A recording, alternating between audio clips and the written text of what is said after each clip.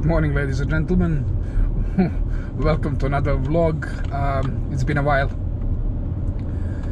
It's 5.50, so 10 minutes before 6. Um, the sun is just about to come out. Uh, I'm still kind of sleepy and um, trying to figure out what I'm gonna say. but as you can see uh, from the title, uh, I bought a new car and today it's gonna be the first video uh, about the new car. Uh, I will tell you about some of the features. I'll tell you some about something about the spec of the car that I bought. And I'll tell you something um, about the future what I'm planning to do with this car. Because I'm not just planning to you know stick with it and drive it as it is. Uh, I'm gonna try to find some nice and quiet place where it's not windy so that we can take a walk, uh, walk around the car. We can take uh, some nice uh, you know videos about the interior. And uh, we can do a little bit of a drive here around the desert where I live. Uh, but I mean I don't know if you could see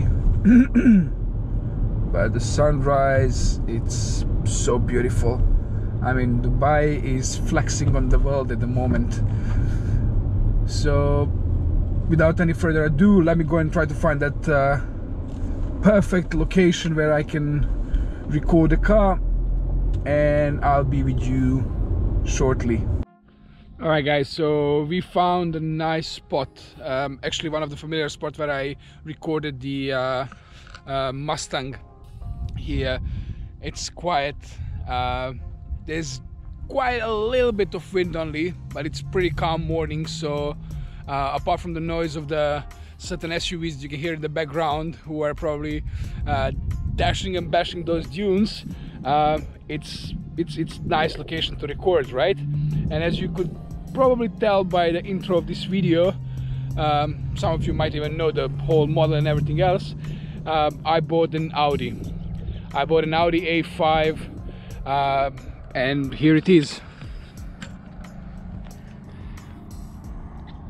it's a 2013 model.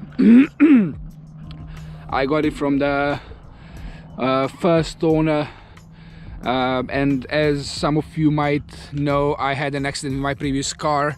Uh, Nissan right? I posted on my Instagram stories and that led me to buy uh, this car basically. It just came to me out of the blue out of nowhere and um, I'm, I'm pretty happy on how it looks like and I'm pretty happy with my purchase at the moment. So to guide you a, bit, a little bit about the uh, spec it's a 2 liter uh, turbo engine uh, 4 cylinder uh, S-line outside S-line inside uh, sport suspension uh, and it's a four-wheel drive so it's a quattro as you could see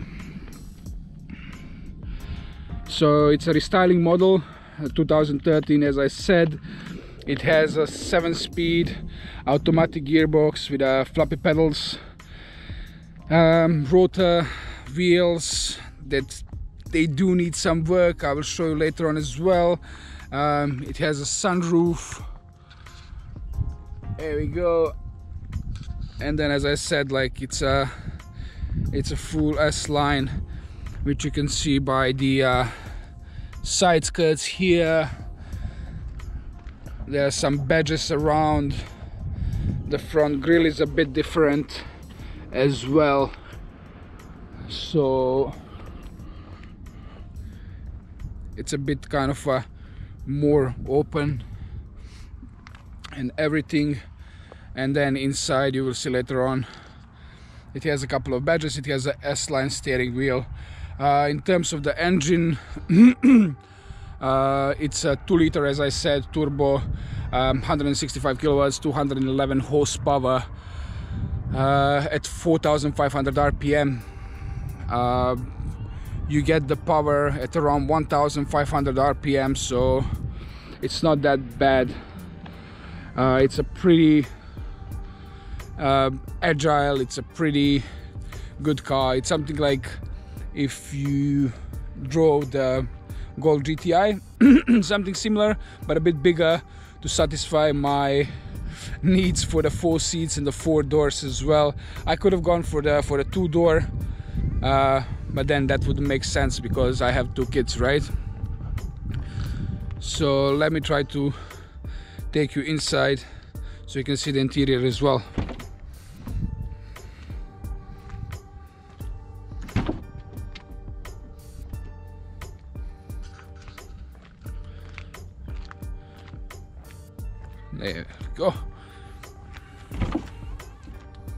other side. By the way the sunrise is amazing. I don't know if you can see the desert and everything. As I said UAE is flexing on the world with this one. I really like these uh, frameless doors. As you can see from here it's kind of a Grand Coupe uh, style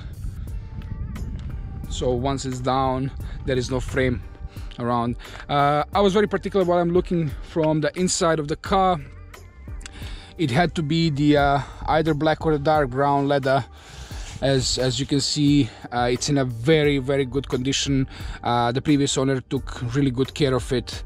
Um, hence another reason why I took this car. So the leather seats are in a very good condition. The whole interior it's in a very good condition as you could see and the car itself apart from the few scratches and whatnot right?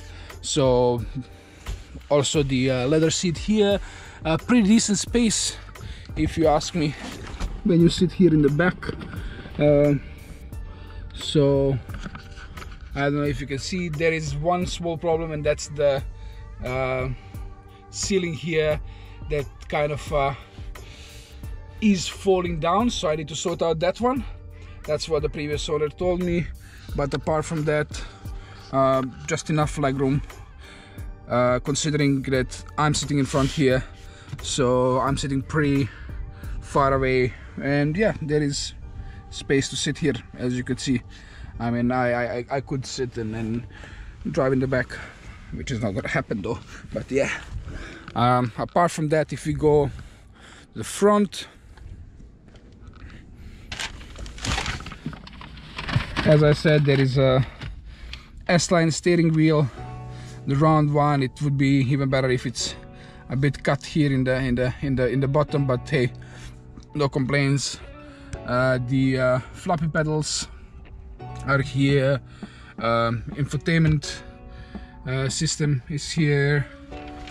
And then we have the uh, Audi Concert which is the ridiculous thing but hey that's uh, that's an Audi right? That's one thing that I don't like because you need to connect your USB and whatnot from the glove box and then you need to plug it into the um, uh, lighter whatever it is uh, to put the charger over there in order to get your Bluetooth but hey it's somehow sorted out right? Uh, it has these kind of extenders here as well when it comes to the seats um, seven speed automatic gearbox as I said um, with the sport and the manual mode um, traction control off parking sensors um, auto start stop again the ridiculous thing that that exists. But then there is like a automatic hold of the of the parking brake which is a pretty good thing if you're standing in the in the in the traffic. And then the start stop button that you can see commands on the steering wheel uh, voice control which I don't know if it, if it works in any car uh, decently then um, the volume uh, knob here different modes that you can see from the central uh, board over here.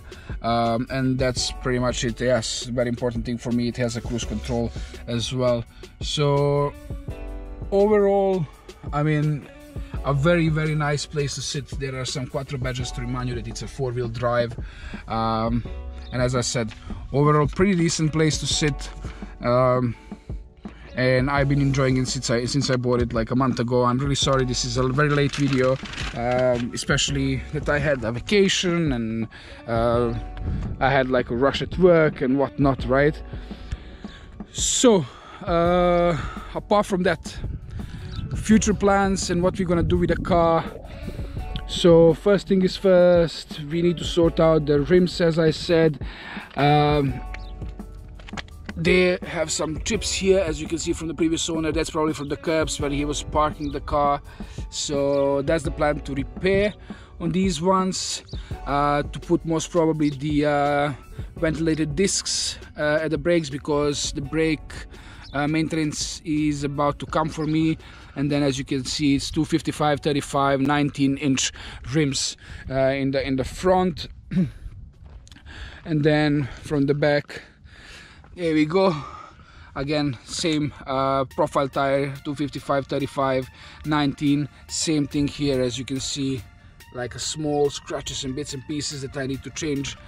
Um, but uh, that's gonna cost me like around 150 euros which is around 600 dirhams on whatnot.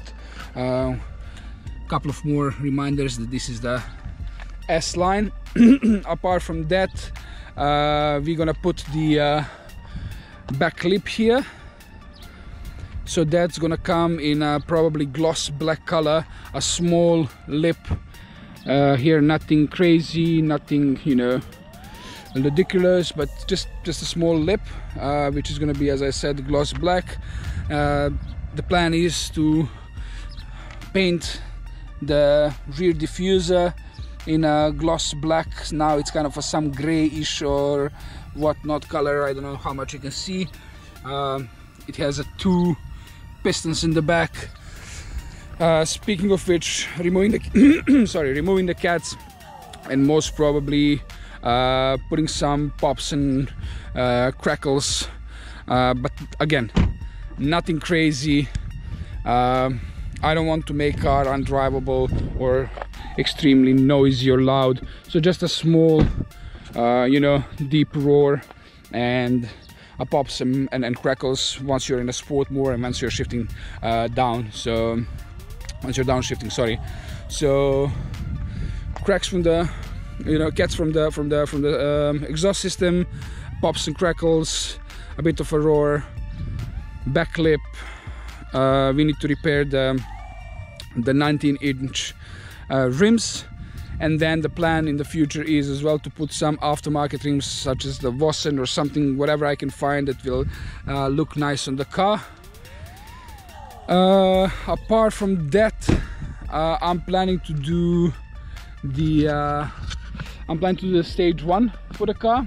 I found a company um, and they said that they can bring it up to the 280 horsepower. That means 70 horsepower extra and it's not much about that power that you get. I mean it is at the end of the day but it's not right? Because yes i will get 70 horsepower extra for this car which is going to be in a kind of uh, league of uh, golf r. Slightly less but the thing is what they are promising what they're saying is that i will be able to get a better throttle response. Um, throttle response is very nice. Um, i'm not complaining but there are sometimes that lag especially with a 7-speed automatic uh, gearbox uh, which is not shifting always the way that you want. And the floppy pedals are you know good but not the best ones uh, to be quite honest. Yeah at the end of the day it's not the RS5 I would love to but it, it, it is not.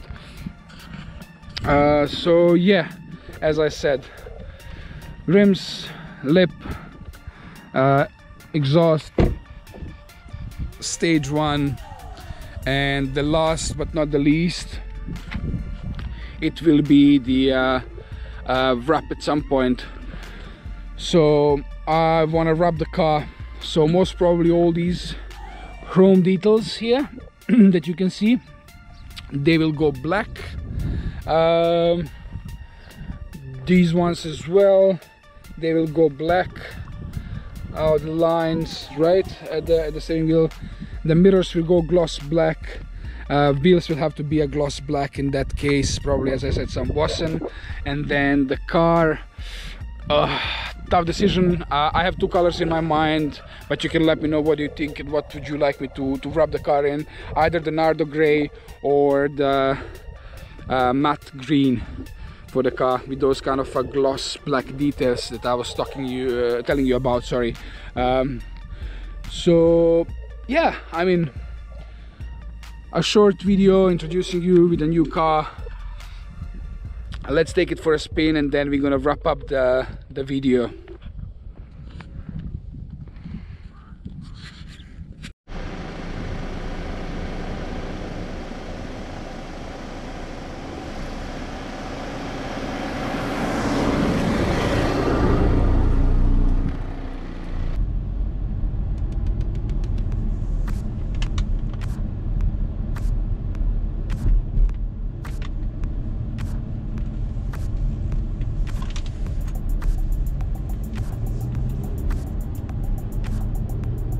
guys.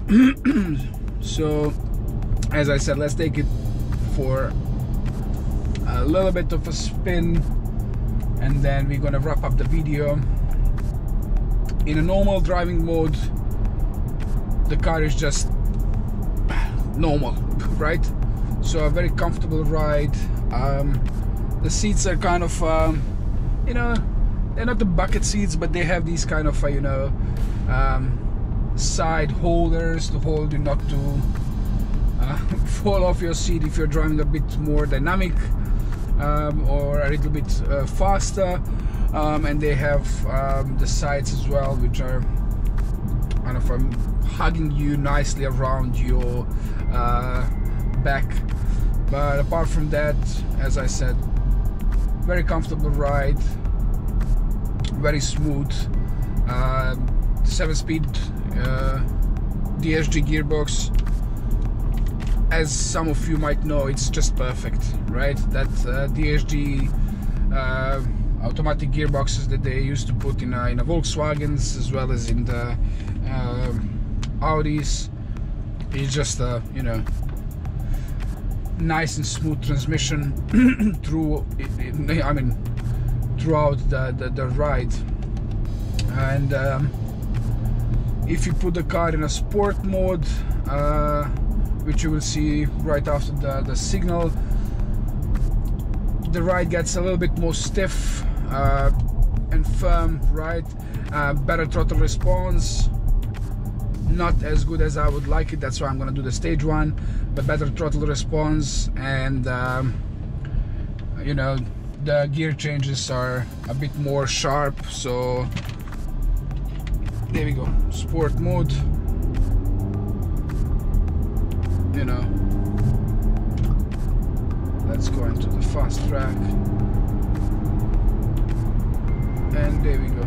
You know. So and it holds it in a, in a, in a lower gears right?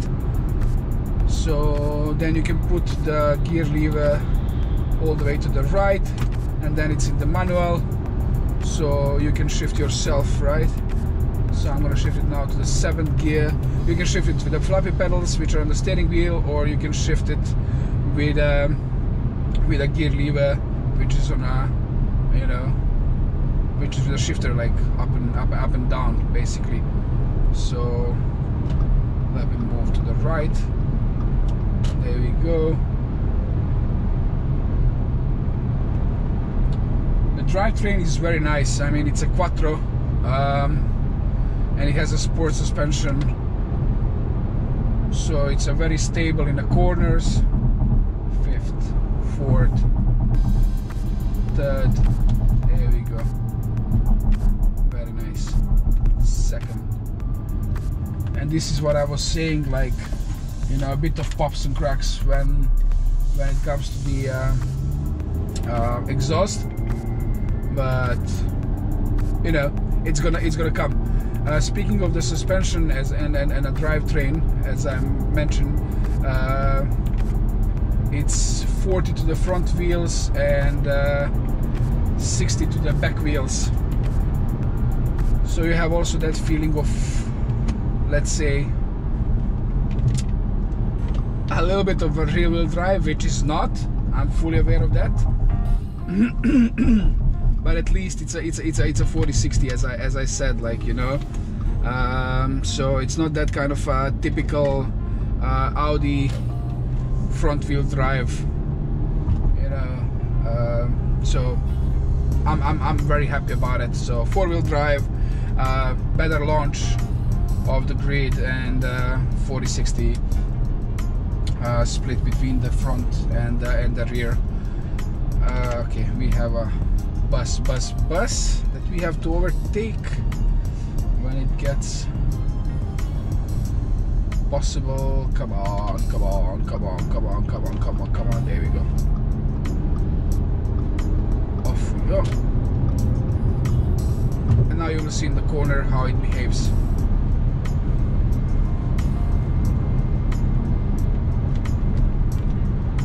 So left bend no problem at all. Holds the composure. Mean just perfect. Slow down a little bit here.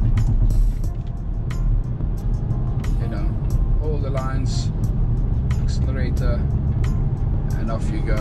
Uh, it's getting a little bit busy because the people there are about to go to work it's 6.30 so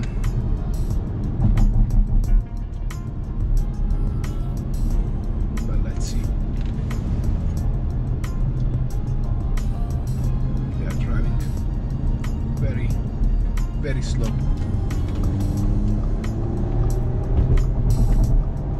there we go